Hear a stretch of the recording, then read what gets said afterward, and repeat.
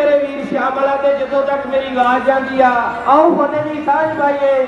ਵਾਹਿਗੁਰੂ ਜੀ ਕਾ ਖਾਲਸਾ ਵਾਹਿਗੁਰੂ ਜੀ ਕੀ ਫਤਿਹ। ਮੈਂ ਗੁਰਫਤਿਹ ਸਿੰਘ ਪਿੰਡ ਅਜੀਤਵਾਲ ਤੋਂ ਮੋਗੇ ਤੋਂ ਇਸ ਪਹੁੰਚਿਆ ਧਰਨੇ 'ਚ ਤੇ ਮੈਂ ਆਪਣੇ ਸ਼ਬਦ ਰੱਖਣੇ ਚਾਹੁੰਦਾ। ਇਹ ਮੇਰਾ ਪੰਜਾਬ ਪਹਿਲਾਂ ਬਹੁਤ ਵੱਡਾ ਸੀ ਤੇ ਉਸ ਨੂੰ ਆਪਣਿਆਂ ਨੇ ਤੋੜਿਆ ਤੇ ਉਹਦੇ ਬਾਰੇ ਮੈਂ ਚਾਰ ਸ਼ਬਦ ਬੋਲੂੰਗਾ। 1 ਨਵੰਬਰ 1966 ਨੂੰ ਪਾ ਦਿੱਤੀ ਸਾਡੇ ਵਿੱਚ ਵੰਡ।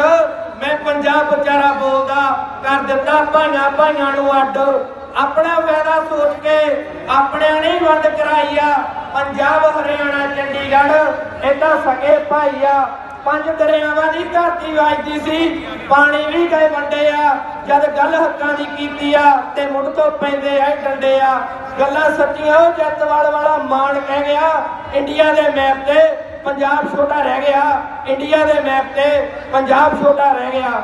ਜਿਸ ਤਰ੍ਹਾਂ ਸਾਡੇ ਪੰਜਾਬ ਨੂੰ ਇਹਨਾਂ ਸਰਕਾਰਾਂ ਨੇ ਛੋਟਾ ਕਰ ਦਿੱਤਾ ਹੈ ਤੇ ਹੁਣ ਅਸੀਂ ਆਪਣਾ ਕਿਸਾਨੀ ਦਾ ਜਿਹੜਾ ਬਹੁਤ ਹੀ ਮੁੱਦਾ ਹੈ ਤੇ ਇਸ ਨੂੰ ਆਪਣੇ ਹੱਕਾਂ ਤੋਂ ਕਦੇ ਨਹੀਂ ਪਿੱਛੇ ਹਟਾਂਗੇ ਤੇ ਜਿਸ ਤਰ੍ਹਾਂ ਸਾਡੀ ਕਿਸਾਨ ਯੂਨੀਅਨ ਦੇ ਬਹੁਤ ਹੀ ਸਤਿਕਾਰਯੋਗ ਸਾਡੇ ਬਜ਼ੁਰਗ ਤੇ ਉਹਨਾਂ ਦਾ ਸਮਰਥਨ ਦੇਣ ਲਈ ਪਹੁੰਚ ਰਹੀ ਜਵਾਨੀ, ਉਹਨਾਂ ਦਾ ਧੰਨਵਾਦ ਕਰ ਵੀ ਆਪਣਾ ਅੰਦੋਲਨ 2 ਮਹੀਨੇ ਪੰਜਾਬ ਵਿੱਚ ਚਲਾਇਆ ਸੀ ਤੇ ਉਸ ਤੋਂ ਪਹਿਲਾਂ 30 ਸਾਲ ਤੋਂ ਘੱਟ ਉਮਰ ਵਾਲੇ ਕਹਿ ਰਹੇ ਸੀ, ਚਲੋ ਦਿੱਲੀ। ਅੱਜ ਉਹ ਦਿਨ ਆ ਗਿਆ।